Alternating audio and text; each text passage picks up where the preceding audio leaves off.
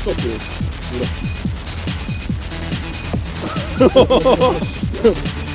ら。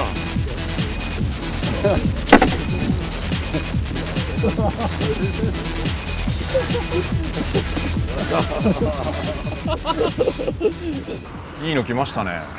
いいやつ来ましたよ。いいやつだいいな。ダブル X バイブ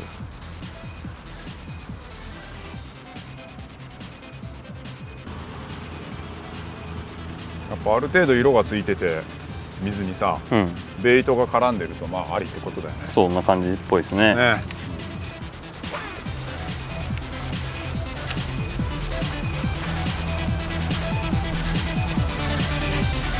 きたーひったくってきましたね。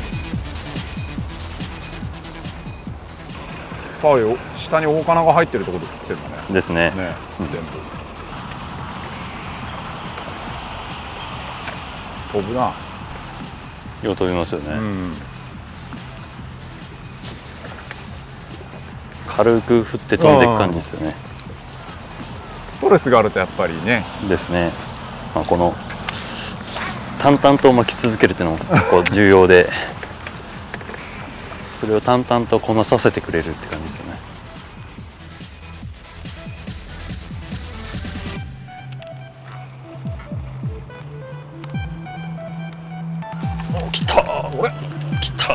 来ましたよ。めっちゃひったくってっ。たすげえ食い方しましたね。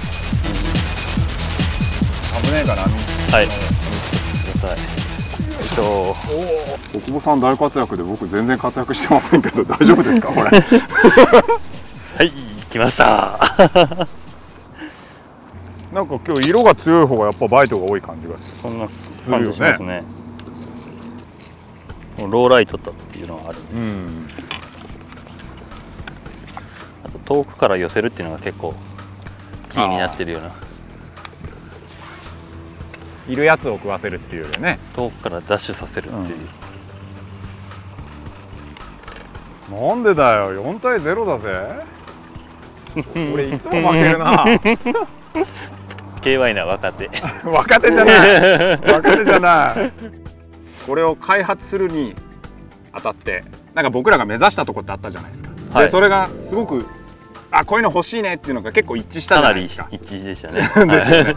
でこれのやっぱり最大の特徴というかそのなんでこれが必要になったかっていうのをちょっと、はい。国母プロの方から。はい。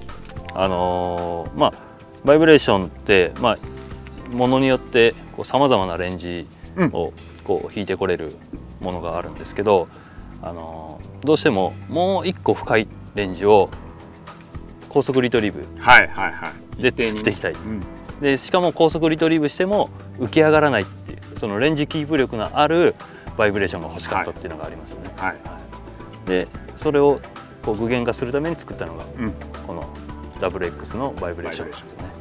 っぱり今までのバイブレーションってはい。使ってると、早く巻けば巻くほどある程度やっぱり浮き上がりが出てきちゃうじゃないですかはい。どうしても。だけどその低いレンジをバーって通さなきゃバイトしないっていう状況もあるわけじゃなそれいですかでこそリアクションバイトさせれそうるそうですよね。でそれがこうバイブレーションのうん。こう良さをうん。生かすことができるシチュエーションでもあってでバイブレーションでしか釣れない魚であったりするんですよね。うんサウンドにもこだわったじゃないですか、そうですね、はい、まああの釣れるサウンド釣れないサウンドうん。って結構あの、まあ、シチュエーションによって分かれるところもあるんですけどやっぱしあのいろんなシチュエーションであやっぱこれが一番いつもうん、かなりありましたもん反ね応があるいいなっていう、あの魚を呼び寄せながらも魚をすれさせない、はいはいはい。そういうサウンドがあって、で今回は、まあ、タングステンボールを2つ使用して、はい。でタングステンボールのボール同士が当たる音。はい。でしかもそののタングステンボールがあのボディに当たる音、まあ、通常の音ですよね、うん。この音と玉同士が当たる音、うん。でそれプラスアルファスチールボールの組み合わせですね、それであの重低音を出しながらちょっと中音域の,、うんうん。あのサウンドもラトローンも入れるっていうこうコンビネーションに行き着いたって感じですね。そうですね、はい。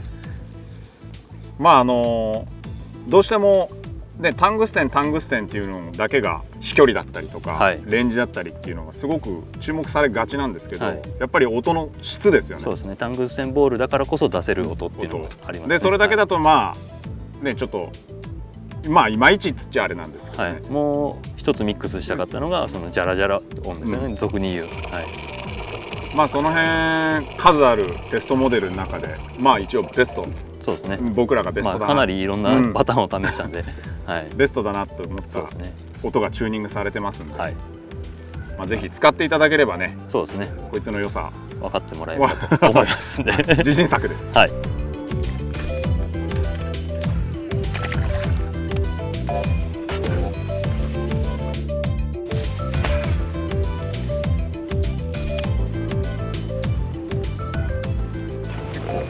度がいいから使いやすいな。ダブル X の特徴じゃない。そうですね。ね。何やってるか分かりやすい。バイブレーションがはっきりしてて、うんうん、強いわけじゃなくてはっきりしてるっていう。アングラーにちゃんと信号を伝え伝えてくれるっていう。そうですね。ね。ウィードにタッチしたかどうかがすぐ分かります、うん、すぐ分かるし、うん、なんならウィードの質まで分かっちゃう。そうですね。なんかやっぱ使いやすさってすごい重要じゃんね。ですね。ね。楽に釣りができるっていうか。すべての動作が楽にできるっていうのは、うんうん、しっかりバイブレーションさせようとするとどうしても抵抗感のある、うん、そうですね、ね、大きくしちゃうとそうですね。ね。重くなっちゃうんだけど、はい、その辺はうまくそうですね。リップの形状だったりとか、はい、まあ、あのリップの絞りが結構効いてる感じですね。だから高速リトリーブで食う時も楽なんですよね。楽楽。うん抵抗感の大きいやつだとどうしてもね。そうですね。しんどいんでやり続けれないんですけど。疲れちゃうし高速にできないんだよね。そうですね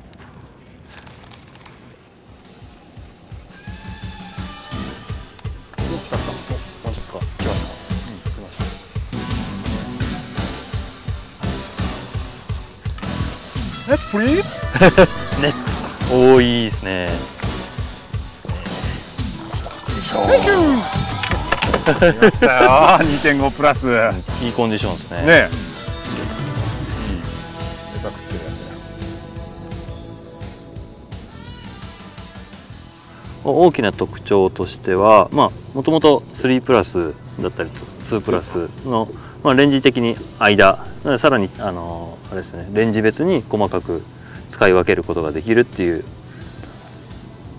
ルアーになってるんですけどあとはもう一つはこのボディのサイズ見てもらうと分かるんですけど2.5は1サイズあのボリュームを落としてあるんですよね。でそうすることによってあのもともと2プラスなんかはどっちかというと波動の強いタイプ。で3プラスはあのディープクランクの中でどっちかというとシャドライクなちょっと弱めなアクションなんですけどその間になってる。アクションがちょっと違うっていうところですね。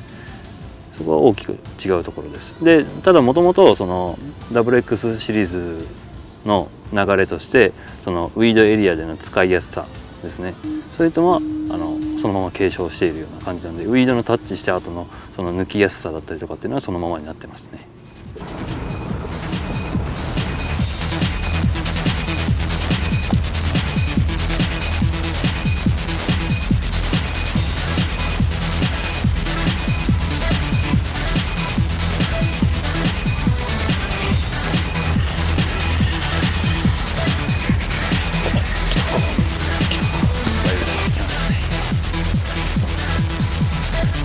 食べろ